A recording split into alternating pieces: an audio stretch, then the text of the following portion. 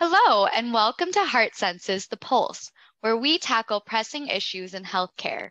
Today, we will discuss the effects of artificial intelligence technology on the primary care physicians and the cardiologists with our co founder, Dr. Antoine Keller, and our special guests for today, Dr. Garland Green, structural heart interventionalist, and Dr. Rani Whitfield, primary care physician with special interest in cardiovascular disease. Doctors Keller, Green, and Whitfield, welcome, and thank you so much for joining me today. Thank you. For thank you. you for having us, Sabrina. Yes, thank you. Um, so I'm looking forward to this chat. I know that there is a strong relationship between the primary care physician and the cardiologist, but we would just really like to know how, you know, this is all changing with artificial intelligence. So, um, yeah. Well, yes. Both of you have been in practice for 10 years or so, perhaps a little bit longer, and you have seen a lot of changes in the cardiovascular space over those years, specifically in the last five years or so. It seems like the technology has just exploded in cardiovascular disease diagnosis. And so we really want to know about your thoughts about how that technology has changed your practice over the years and what you feel about what the future holds for that kind of technology and, and diagnosis, specifically as it relates to um, uh, early diagnosis and early intervention and appropriate use of, uh, of the technology.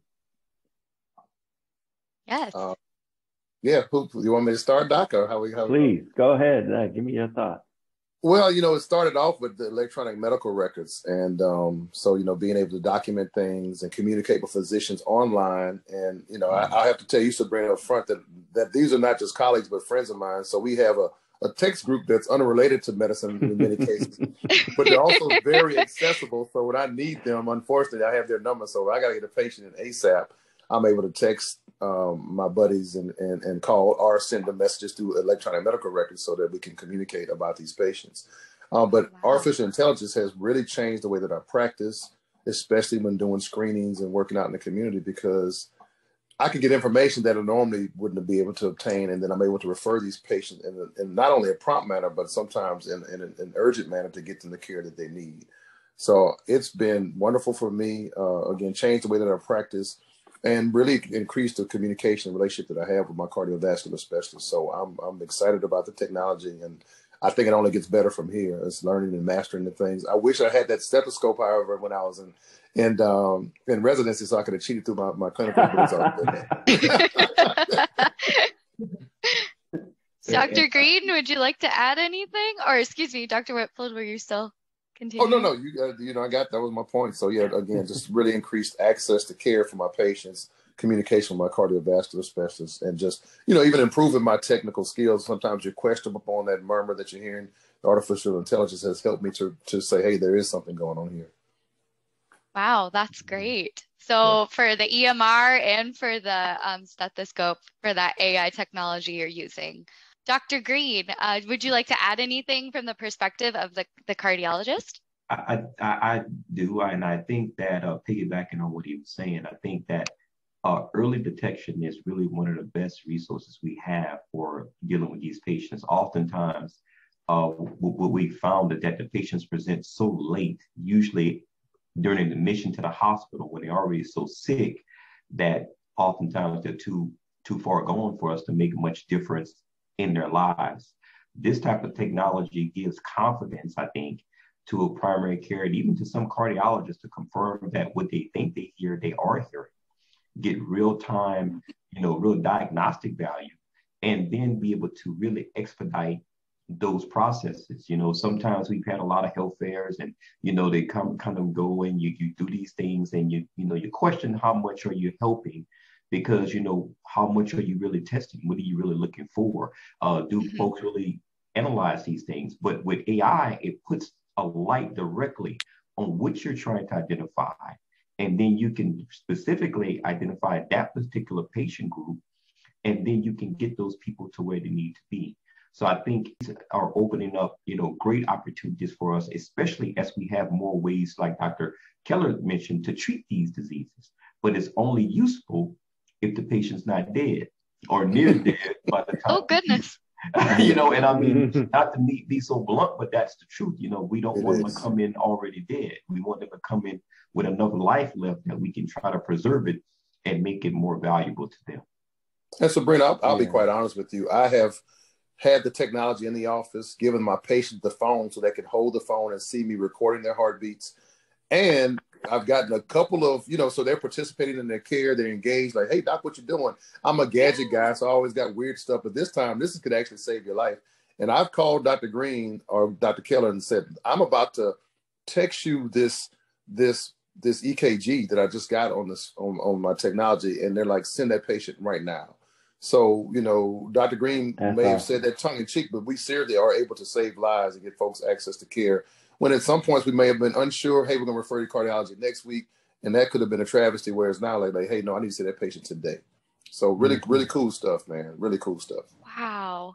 Oh my gosh, that's that's amazing. Yes, yeah, so that early detection can really happen and then that really ties into, you know, the patient relationship to the primary care physician and to the cardiologist because you're all already kind of having this conversation at once.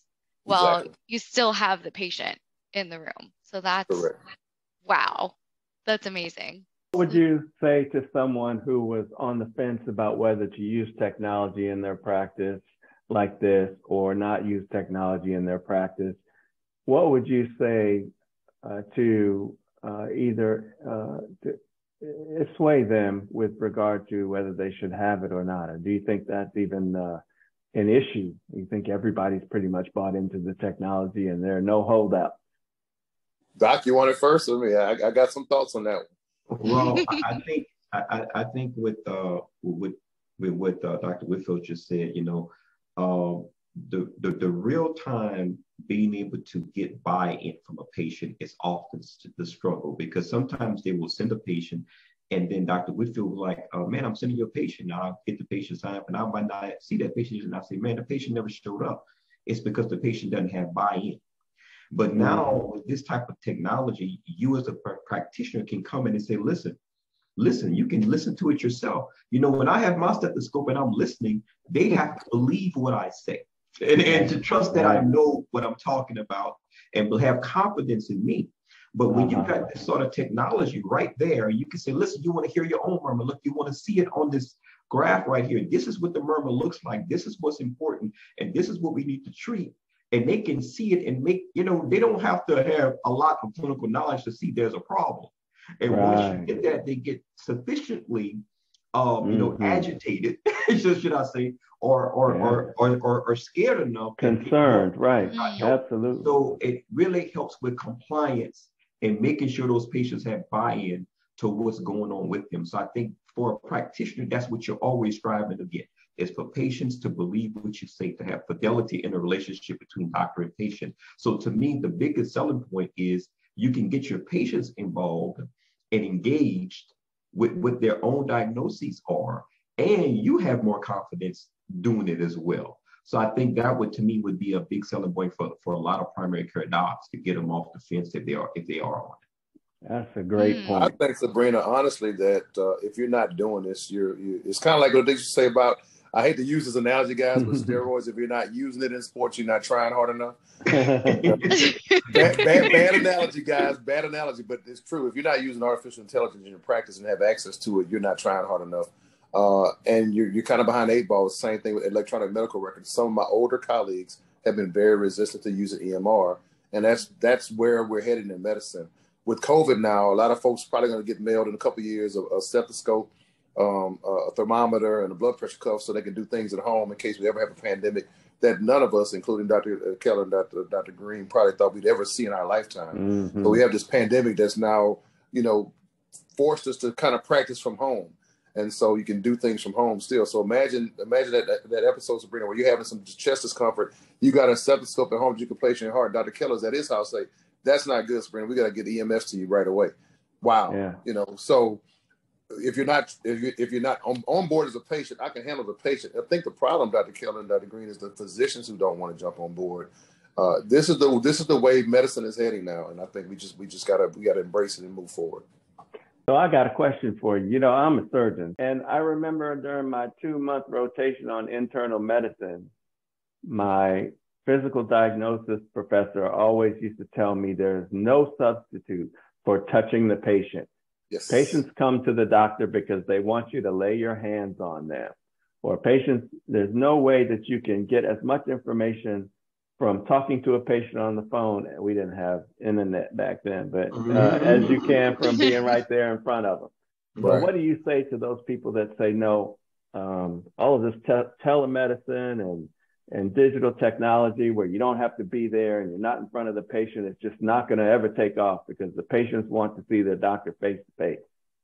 Well, we're not losing that relationship. I'm saying in the midst of a pandemic, but with the artificial technology that we're currently using, you're still in the physical, there's physical contact. 80% of the diagnosis is from the discussion that we have with the patient. That's what we were talking mm-hmm. Dr. Keller, in school. So if you're in my office, I'm still touching you, holding your hand, crying with you when I need to.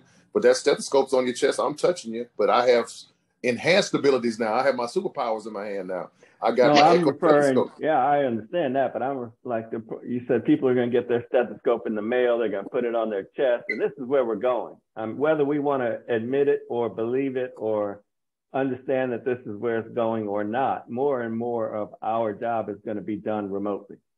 Well, again, I, I just think that's the there's no answer to that other than this is where we're going, and so. Mm-hmm folks will eventually jump on board with the concept. They're going to have to, and so I, I, don't think we can can convince them otherwise.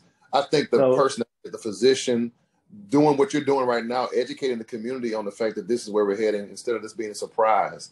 I don't think it's going to happen mm-hmm. tomorrow, but I am doing much more video visits, especially with some of my non-complicated patients for medication refills, just to check in, doc. You know, mm-hmm. I can mm-hmm. do those visits and do them a little bit more efficiently and faster. Ah, I see. So mm-hmm. I, I, think the mm-hmm. conversation is just going to have to continue to happen, and, and, and eventually, so, uh, I agree and agrees with that. They're they're going to have to get on board. I think that's yeah. where we're headed. So it's, uh, it's, a good point that most things can be done remotely, but when you need to be in front of a patient, you can get in front of a patient. So Dr. Wagner wasn't totally wrong, and that still counts. Well, well what, uh, what I would tell you, but I think the two things go together because yeah. mm-hmm. what you're what you're saying is my biggest problem with COVID and having doing telemedicine and things like that is I can't listen to the heart. As a cardiologist, if I can't listen to the heart, what am I really doing? You know, mm-hmm. so so so what, what this technology enables me to do is you have somebody at home that has access to that. They can then give me that diagnostic capability like I'm touching them in right. a sense of now I can see what your heart sounds like. I can see what your murmur is. I can facilitate that process. And I'm actually doing what Dr. Wagner said. I'm still contacting the patient. I'm just extending my hands digitally.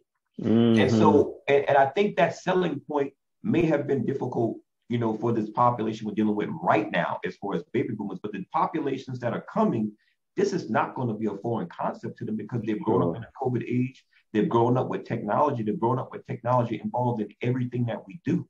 Right. I think mm-hmm. it's only going to enhance what we do, not hinder. And, you know, because I can do an echo now doesn't mean I don't still listen to the heart.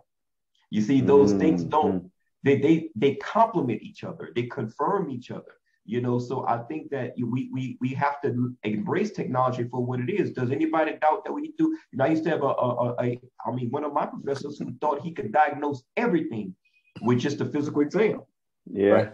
And so as a result, he he um, you know, he would get upset, you know, why are you order an echo? I already know. And then if the echo didn't agree with him, oh no, it's no way. It can't be. you know, and, and, so it was it was one of those situations where he had to embrace that times were changing. And you know, that mm-hmm. ultrasound had a little bit better eyes and ears than he did. And so uh, you know, o- over time we all change. So I don't think it's going to be as much of a fight from that perspective. I think, you know, as we continue to go into this technological age, which there is no going back, yeah. that folks will have to embrace it because it's here and understand mm-hmm. how to help it help you. You don't want to be the guy, like Dr. Whitfield is pointing out, that can't do that. If you're the guy that can't extend those services to folks at home, then you will get left behind uh, you know, by the whole field. So you cannot do that. Any, I mean, that's not even an option anymore. You know, right. I hate to say it, but it's just yeah. true. It's not an option. Whether you look, I, I, don't want to, I don't want to drag the point out, but this is the this is the era of Uber, uh, DoorDash, mm-hmm. Airbnb. folks want convenience. They want it right now. They want accessibility. So yeah. artificial intelligence. I mean, mm-hmm. this is where we're going. I, I don't I don't right. think there's going to be as much resistance as, as, some folks think when this really hits hard. But it's already here. It's already happening. Um, it's amazing some of the stuff that you can do. And I'm supposed mm-hmm. to be one of the, the I'm the hip hop doc. I'm on the cutting edge.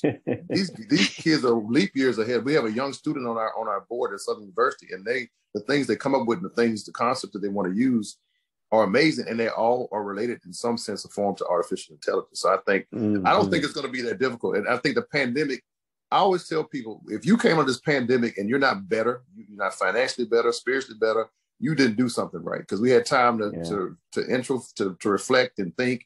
And so I think the pandemic helped us realize that there there may be another way to do this and still help our patients. We're going to still touch and feel, but if there's an opportunity or, or, a lack of an opportunity to do that, we can still take care of that patient. Absolutely. Wow. Oh my goodness. That is really cool to hear these different perspectives and to kind of just get to the bottom line that it's the future and yes. this is what's going to happen. And there's even studies that have been done um, that were conducted back in 2020. So I think even pre-pandemic, I want to say, um, that the AI powered algorithms were going to start really being part of primary care and healthcare in general, but that was before the pandemic. And now right. it's just exploded. So mm-hmm. it's definitely going to be part of the future of healthcare, if you know, more so than it is right now. So um, that brings me to another question. So um, we've talked about the relationship with the patient and the primary care doctor and the cardiologist, and um, that kind of ties into the referral process. Though I'm curious, how much has that changed pre-pandemic versus now that you're referring um, from the primary care to a cardiologist or another specialist for treatment for a patient? I'm Sabrina. I'm blessed to have these two guys as friends and colleagues. So it hasn't changed much for me, other than there's probably more coming. Uh, and from the artificial intelligence component, I'm able to pick up things that I was unsure about. In in the past, I would just refer because I didn't know or I wasn't sure. Now I can refer with confidence. I can refer quicker, and I also have more information when I'm referring. So I feel like I'm helping my my colleagues process quicker. I mean, today people want a, a, lot more information when you show up. So you're not just show, show up with, mm-hmm. I think I have a murmur, and then sometimes I send folks and it's wrong. So that kind of hurts the credibility of the doctor. I've literally called Dr. Keller or, or, or Dr. Uh, Green in front of the patient, like, hey, I just got this information. I need you to see this patient. And it's really cool, not only that they see that I have relations with them, but I also have information that they're going to be able to use to help them. Mm-hmm. And so mm-hmm. for me personally, it, it, hasn't changed, but I think for other doctors, the, the referral is going to increase because they're going to pick more uh, bad news up or at least things that are questionable. Now they're going to actually know, hey, this is a aortic stenosis or mitral regurg that sounds like it's gotten worse in the last couple of years. Wasn't sure mm-hmm. before, but they'll have mm-hmm. more information. Yes, and ma'am. Dr. Green, do you think that the time frame between the time that the patient has their initial diagnosis or suspected diagnosis to the time they ultimately get treatment has been lessened with the uh, introduction of artificial intelligence and technology? I think definitely the answer would be yes on that because the truth is we're especially with some of the things we do i know we may touch on and you know the things we do with heart sensing we're going out and finding people that probably wouldn't have been found at all until they got sick so the answer mm-hmm. is yes definitely because most of the people we see are asymptomatic at that time and and and so or not knowing what their symptoms are and right. so so so what you do is you're introducing people into the healthcare system that might not have been there before and so yeah. yes i do think when people get more confident in murmurs you know i remember when i was in med school since we reminisce about that time one of the things that pushed me toward cardiology was that I had a comfort level with it when most of my colleagues didn't. Mm-hmm most people aren't comfortable with diagnosing murmurs. Most people aren't comfortable with EKGs. Most people aren't, aren't comfortable with doing those things, you know, on their own. Um, mm-hmm. So it, it is definitely sped up the process of people getting in. And I'll tell you, one of the biggest AI, you know, things besides what you guys are doing is talking about just the, the Apple Watch. The Apple Watch has been a, a dynamo as far as early referral because people look at their heart rate and say, oh, it tells them something's not right. Mm-hmm. Their heart rate's irregular. They come into the, they, they're, they're calling to make an appointment and say, what's going on? Well, my watch told me that this was going on, that, that was going on, an abnormal EKG. And so those things are really pushing folks to come in earlier than they would. Because listen, we're seeing youngsters, 20 year olds, 30 year olds that are coming in, you know, may, may have had AFib, you know, atrial fibrillation for years and didn't know it, but the watch picked it up. Yep. Mm-hmm. And, and, we all know that there are a lot of you know complications that go along with that. You know, and at some point I know we're going to do our discussion on atrial fibrillation, but we'll table that for another time. But it's very important to find that early before the person comes yeah. to a stroke or, or, or, some other abnormalities. So I think that uh, yes, the, the the the AI is really pushing things much earlier in the paradigm. Yeah, and I, you know, I have two thoughts on that. One that, you know, you mentioned HeartSense, and one of the, the valuable things is that we catch people with valvular heart disease before they have that index admission for heart failure. Correct. And that is uh, very significant because by the time the patients develop heart failure symptoms, oftentimes they have irreversible damage to their heart. So it's really important to be able to pick up things. And, and I will be honest, most of the things that we pick up with our HeartSense screenings don't necessarily need procedural intervention at the time that we pick them up. But uh, because of the fact that we know them, we save people's lives because they can have those things followed up upon at a regular interval by somebody who has uh, a lot of expertise in, in heart disease, atrial fibrillation, and structural heart disease like you. And it puts them on the radar and it could potentially save their life uh, and, and give them more years to live because there's a lot of evidence that shows that if you can intervene upon someone before they develop heart failure, then their life expectancy is improved over uh, if they present after they have uh, uh, the heart failure. And the other thing I think that is really important with the advent of technology like transcatheter aortic valve replacement, which obviously you're an expert in that process as well, that we can, uh, it, it, when as a surgeon, whenever someone was found to have aortic stenosis and they were sent to me, if they were presumed to be asymptomatic, it was really hard for me to convince them sometimes to have their chest cracked open and to uh, undergo an operation that is life threatening that's going to take them six or eight weeks to recover from.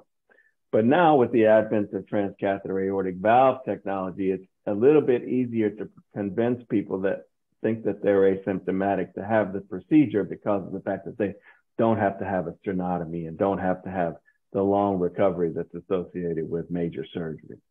I agree. Yeah. Um, we've kind of flown through all the questions that we had for today. Um, I guess the last point is going back to HeartSense and when you are there volunteering in yeah. person with those community members, what has that experience been like? And um, we'll start with Dr. Whitfield.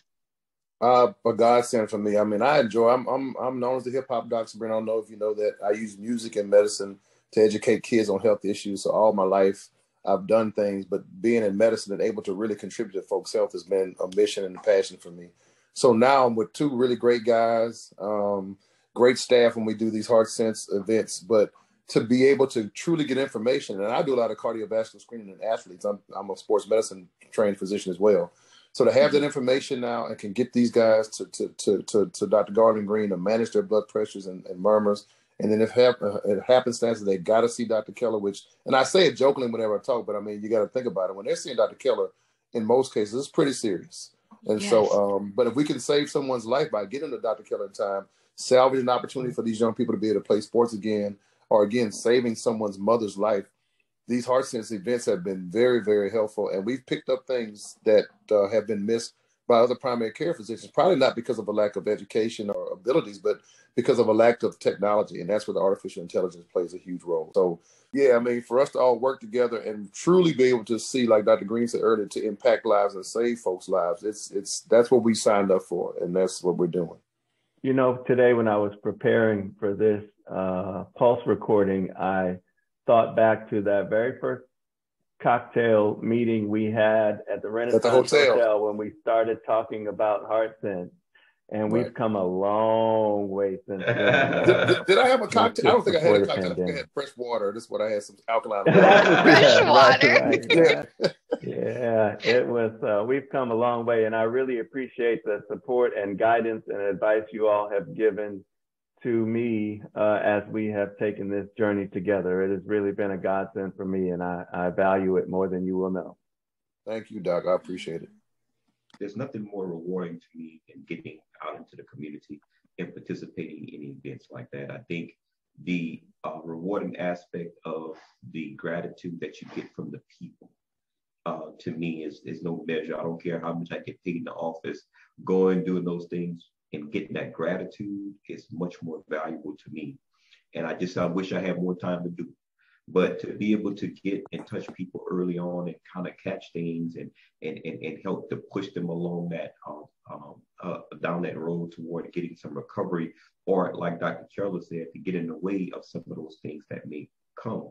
And what I what I always like to stress is what these things allow us to do is we can. I usually don't deal too much in a talk about longevity. And I say that in a in a tongue-in-cheek kind of way, in the sense of my focus is to make your living here as good as it can be for as long as it can be. Because being here and being short of breath because you're in heart failure or, or taking 25 different medicines because things that are complications of atrial uh, of, of, of uh, valvular heart disease have caused you to become so sick and so debilitated. Uh, it's not even about the valve anymore. By the time you get to the valve replacement, you may have had so many other issues that resulted from that. So mm-hmm. my concept is how do we improve the quality of life for the people that we seek to uh, uh, to treat. Mm.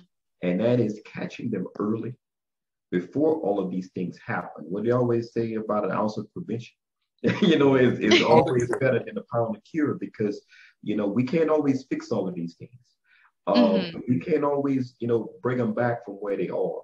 So my concept is let's get in as early as we can. Look for those things that uh, can be uh, you know, kind of run with those things. You know, kind of like who, who do I run with as a as a, a, cardiologist? I run with a primary care doctor, and I run with a surgeon.